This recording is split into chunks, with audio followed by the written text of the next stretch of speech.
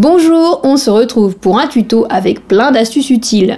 Ce sont des astuces de couturière et j'ai envie de vous les partager. Je les utilise tellement souvent que je ne m'en rends plus compte. Et en faisant mes petits live couture, je me suis aperçu qu'il était grand temps que je vous prépare un petit tutoriel. Est-ce que vous aimez mes astuces couture? Vous en voulez plus ou vous préférez plus de patrons? Faites-le moi savoir en commentant cette vidéo. À tout moment de la vidéo, vous pouvez la liker, un petit pouce bleu ça me fait toujours plaisir. Vous pouvez aussi vous abonner à ma chaîne YouTube si ce n'est pas encore fait. Quand vous regardez les publicités en entier sur YouTube, vous participez à financer mes prochains tutoriels, à acheter des matières premières, du tissu et aussi héberger les patrons sur le blog, comme mon matériel pour filmer les tutos et plein d'autres choses. D'ailleurs, si vous en avez l'occasion, n'hésitez pas à partager les tutoriels que vous préférez de ma chaîne YouTube. Vous pouvez les partager sur les réseaux sociaux ou bien à vos amis proches qui adorent la couture. Vous savez que l'aventure continue grâce à vous. Vous voulez connaître mes astuces couturières secrètes? Alors c'est parti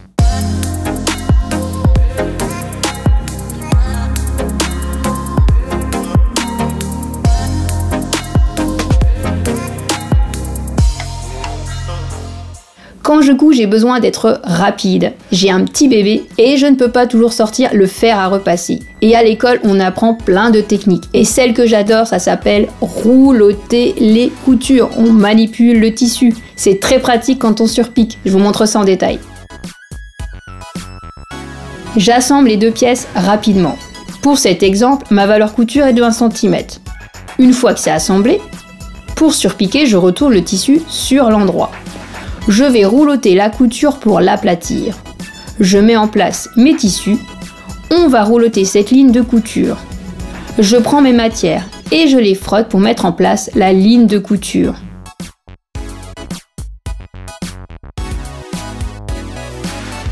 Je démarre ma surpiqûre, ma ligne de couture est bien sur l'extrémité. Je vais rouloter cette longueur petit à petit. Je vous montre. Mon pied presseur est descendu l'aiguille est bien dans le tissu, je peux rouloter et placer mes matières bord à bord. Mon index droit tient légèrement les tissus et je couds sur 5 à 7 cm. Je tire le tissu du bas, j'écarte et je rabats. Je place ma ligne de couture. Je peux écraser les matières avec mon doigt. Je couds en tenant légèrement mon tissu à la fin, je roulotte. Je vérifie que ma ligne de couture soit bien placée et je finis la surpiqûre. Normalement, vous faites des points d'arrêt. Ici, c'est un exemple pour vous montrer que c'est propre. Cela m'évite de repasser, je gagne du temps. Mes tissus sont bien aplatis. Un geste fondamental quand vous démarrez vos coutures, c'est de placer le fil de canette et le fil supérieur sous le pied presseur et en arrière. Je vous montre un exemple où je ne le fais pas, résultat j'ai un bourrage tissu et ça coud mal, et un exemple où je fais ce que je vous dis, et bien évidemment mes coutures sont tout le temps réussies dès le départ. Il est possible que vous placiez votre canette de cette façon, en passant bien le fil dans le guide tension, moi je suis censé le laisser sur la gauche. Puis je place la plaque transparente si je fais ça, une fois sur deux, ma couture pour démarrer sera loupée. Je vous montre en surpiquant une petite longueur. Vous voyez, le fil de canette n'a pas été pris. Le point n'est pas formé en début de couture. Sur l'envers du tissu, j'ai des boucles sur 4 cm. Ensuite, le point se forme. En tant que couturière, je vous montre quand on place la canette. Je place bien le fil, toujours dans le guide tension, je tiens mon fil supérieur. Je tourne la manivelle vers moi pour faire descendre l'aiguille. Le fil de canette est remonté, je le récupère. Je prends mes deux fils que je place bien vers l'arrière sous le pied presseur. Je laisse une belle longueur sur l'arrière. Pour ce faire, je tire un peu sur les fils et je peux démarrer ma couture en toute tranquillité. Bien évidemment, c'est un exemple. De votre côté, n'oubliez pas le point d'arrêt. Ma couture de démarrage est jolie sur l'endroit comme sur l'envers. Alors pour couper les tissus fluides, j'ai ma petite astuce, surtout quand ils ne sont pas transparents. On peut aussi l'utiliser avec du tulle. Quand on doit couper ces matières, c'est la galère. Et ma solution, c'est le papier freezer. Peut-être que vous en avez déjà entendu parler. On peut le trouver chez le boucher et moi je vous indique le lien dans la description sous la vidéo ou dans mon commentaire épinglé. Ce papier est légèrement transparent. On peut voir à travers pour recopier le patron. Et ce qui est sympa, c'est que la colle est repositionnable à l'infini. Et ça rigidifie le tissu, comme vous pouvez voir. Si, si, je vous montre ça. D'ailleurs, je vous donnerai d'autres astuces avec ce papier freezer à la fin du tuto dans la minute bonus couture. Dans cet exemple, je prends un tissu fluide. Il bouge dans tous les sens. Je vais couper une forme complexe j'utilise le papier freezer. Il est noté qu'on peut l'utiliser pour dessiner et aussi pour réaliser des quilts ou des patchwork. Je prends le rouleau. Il est thermocollant. Vous avez une face lisse et brillante, c'est la colle. Et de l'autre côté, on peut écrire ou dessiner. Je retourne le rouleau, je place le patron à recopier en dessous ça peut être une planche de patron aussi. Je pose mes poids, ce sont des rondelles plates. Je trace rapidement la forme. Je fais des petits pointillés.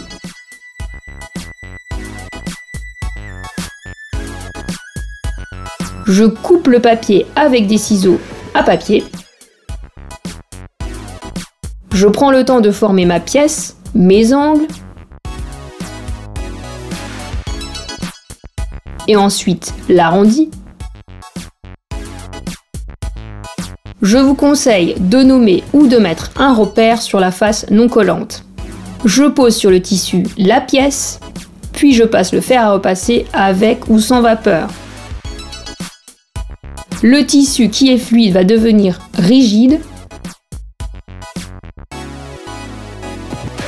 Je peux couper ma pièce sans me prendre la tête, elle ne sera pas déformée vous pouvez ajouter des épingles sur les extrémités des angles.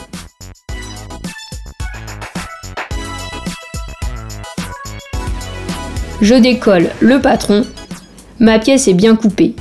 Ce qui est génial, le patron peut s'utiliser plusieurs fois de suite. Il se décolle facilement et se recolle aussi vite. Pour de grandes pièces, assemblez ce papier avec du scotch et appliquez du papier sulfurisé entre le papier freezer et votre fer à repasser. Alors la petite astuce rapide et pratique, c'est de poser son mètre ruban sur votre table. Cela vous permet de mesurer facilement le tissu dont vous avez besoin et généralement le métrage est indiqué sur les patrons. En fait, c'est le même principe qu'on retrouve dans les boutiques de tissus. Prenez un ruban de couturière, puis du scotch ou de la colle. Vous le posez sur votre table de couture, vous le déroulez. Moi je scotch, je pose des bouts tous les 20 cm vous pouvez le poser sur le haut de la table ou sur le bord, suivant votre préférence. Il vous suffit de poser votre tissu contre le mètre ruban, tout le long. Si vous avez besoin d'un métrage par exemple de 50 cm, vous tracez un repère. Soit vous coupez tout droit avec vos ciseaux, ou vous pouvez arracher vos matières comme on voit dans les boutiques de tissus quand vous avez besoin de découdre rapidement vos tissus. Ça arrive, vous êtes trompé quand vous assemblez ou quand vous surpiquez. Cette astuce ne se pratique pas sur un tissu fin ou fluide, car ce sont des matières fragiles, mais si vous êtes débutant, vous cousez certainement avec du coton, c'est parfait pour utiliser mon astuce, d'ailleurs dites-moi ce que vous en pensez. J'ai assemblé mes deux pièces. Le point droit utilisé contient 4 points par centimètre. Vous devez tirer sur un fil Parfois, vous devez même couper la couture sur 1 cm. Je tire sur ce fil tout en tenant les tissus. Sur l'arrière, je récupère le fil de canette et je fais pareil. Je replace mes tissus.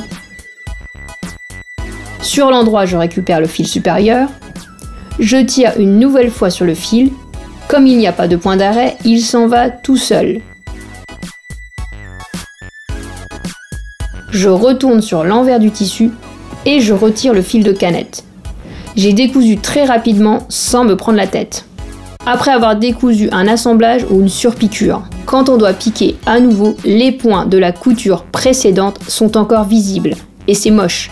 Et vous allez très certainement pas piquer au même endroit. Attention, si vous avez décousu plusieurs fois, vous risquez d'avoir des alvéoles sur votre tissu. Il faudra le repasser avant de surpiquer ou d'assembler. On distingue très bien les mini-trous dans le tissu. C'est l'aiguille et le fil qui ont percé le tissu.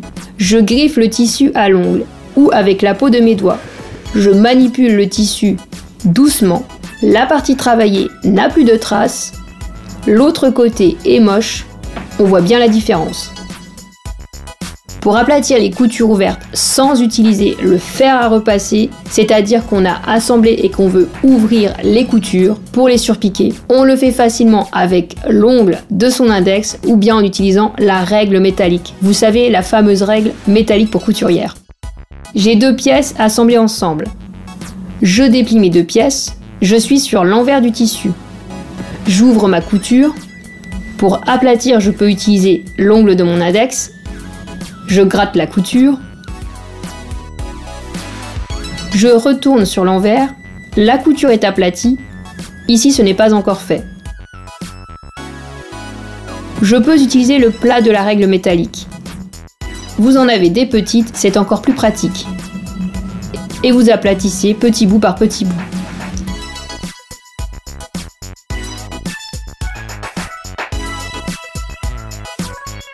Je passe ma règle à plat si besoin.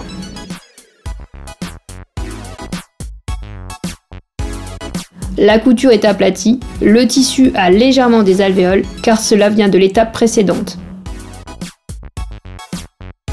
Le tuto n'est pas encore fini, c'est la minute couture bonus.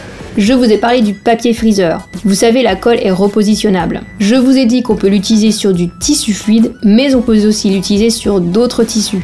Si vous n'avez pas envie d'abîmer le patron que vous avez tracé sur le papier freezer, je vous conseille de tracer sur votre tissu avec un feutre textile lavable. Comme le tissu n'est pas fluide, vous retirez votre papier freezer et vous coupez en suivant les traits que vous avez tracés. Ce qui est génial, c'est que même si votre patron est froissé ou plié, en passant le fer à repasser dessus, le papier sera aplati. Est-ce que vous l'aviez déjà utilisé ce papier? Dites-moi ce que vous en pensez. Autre chose, si vous avez envie de récupérer le patron d'un de votre vêtement préféré, vous pouvez tout simplement découdre votre vêtement minutieusement. Vous repassez avant chaque pièce de votre vêtement, puis vous appliquez le papier freezer. Bien évidemment, vous scotchez avant votre papier. Comme je vous ai dit, vous utilisez du papier sulfurisé pour ne pas abîmer le scotch. Vous tracez ensuite sur votre papier les contours de chaque pièce de votre vêtement. Ensuite, vous pouvez découper votre patron et vous découpez chaque pièce de votre vêtement, vous retirez le papier freezer et ainsi vous obtenez le patron de votre vêtement. Vous aimez les astuces couture? Alors filez sur les 10 meilleures astuces couture que je vous avais filmées. Beaucoup l'ont aimé il n'y a rien à acheter, vous avez tout chez vous. Cliquez sur le lien qui s'affiche là-haut pour aller le voir et dites-moi ce que vous en pensez. Le tuto qui me paraît fondamental quand on est débutant, c'est de connaître les bons gestes pour éviter les pannes courantes qu'on rencontre sur nos machines à coudre. C'est pareil, le lien s'affiche là-haut. Si la vidéo vous a plu, un petit pouce bleu, ça fait toujours plaisir. N'hésitez pas à vous abonner à ma chaîne YouTube si ce n'est pas encore fait. Vous pouvez aussi activer la petite cloche en bas ça vous permet de suivre mes prochaines publications, donc de ne pas les louper. Je vous ai également paramétré les chapitres de ce tuto. Il vous suffit de cliquer sur la vidéo pour y accéder. Si vous avez envie de soutenir ma passion, il vous suffit juste de regarder les publicités YouTube en entier. Tout ceci me permet de continuer l'aventure avec vous. Vous pouvez aussi me retrouver sur les réseaux sociaux, sur Facebook ou Instagram. Il vous suffit juste de cliquer dans la barre de recherche Atelier Alaska. J'ai aussi créé un groupe de couture pour qu'on se retrouve tous ensemble. C'est un groupe de couture sur Facebook. On peut partager ses photos. Vous pouvez aussi poser des questions. N'hésitez pas à me retrouver là-bas. Tous les liens sont indiqués dans la description sous la vidéo. Je vous invite à la dérouler. Je vous remercie d'avoir regardé l'intégralité de cette vidéo et je vous dis à très bientôt.